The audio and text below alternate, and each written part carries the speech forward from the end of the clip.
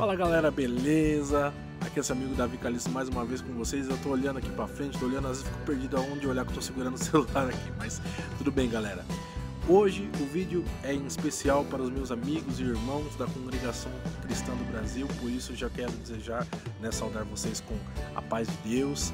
É, muitos inscritos aqui da Congregação Cristã do Brasil e eu senti de fazer esse vídeo especial aqui dedicando a vocês, tá bom? Mas isso também serve para outros, para todos. Mas vamos lá.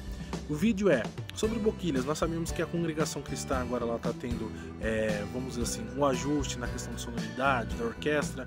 E no nosso caso, quem toca saxofone e é membro da congregação, é, qual o melhor tipo de boquilha para usar para tocar na orquestra, para tocar em naipe? Então vamos lá, galera. Lembrando que é a minha opinião dentro dos meus estudos, eu sei que muitos vão questionar, muitos não vão concordar, mas é uma opinião e é assim, dentro do que eu estudei, dentro do que eu me qualifiquei, dentro das informações que eu adquiri ao longo do tempo, eu quero passar isso para vocês e se servir, vai ser muito bom. Se não servir, é só não usar, entendeu? Mas eu acredito que vai ser para muitas pessoas isso vai ser útil. Vamos lá. As boquilhas mais recomendáveis para você estar tá usando, por exemplo, na orquestra da comunicação cristã, são boquilhas que a gente chama de câmara mais fechada, de câmara erudita, como nós temos alguns modelos de Selmer, como nós temos alguns modelos de Van Doren, né? Eu não vou lembrar agora todos os modelos, mas Selmer, se não me engano, a S, a C, né? Você vai ter você vai ter também a Van Doren, se não me engano, a, a, a, 30, a 30, a 20, é, são boquilhas, né? A própria Yamaha, né? Yamaha é uma boquilha fechadinha para você estar tá tocando em naipe é muito bom também. Lembrando que você vai estar tá fazendo é, o sax alto vai fazer soprano, vai fazer contralto, o sax soprano também, o tenor vai fazer tenor, o barítono vai fazer o, o baixo, né? Então o que, que eu recomendo?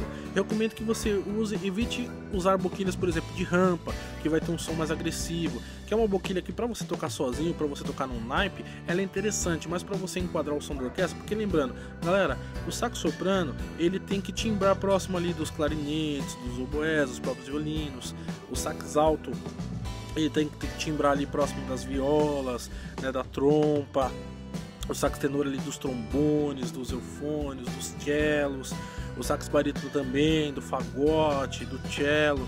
Então a gente precisa pensar que para a gente timbrar a gente precisa de um som tão doce quanto eles, esses instrumentos executam.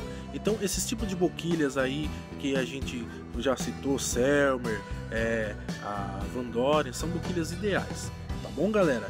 Lembrando que é a minha opinião e eu que eu tô passando aqui para vocês. Muito obrigado por você assistir, por você acompanhar. Não se esqueça de deixar o seu like, de se inscrever no canal se você não é inscrito ainda, de compartilhar esse vídeo e nos ajudar a bater as metas aí 5K, né? Estamos chegando a 3, mas 5K, 10K, 100K e 1 milhão e por aí vai. Mais uma vez, meus queridos e amados irmãos da Conexão Cristã, a paz de Deus, a paz do Senhor e graça e paz para os meus outros irmãos e outras denominações. Um grande abraço, até a próxima. Valeu!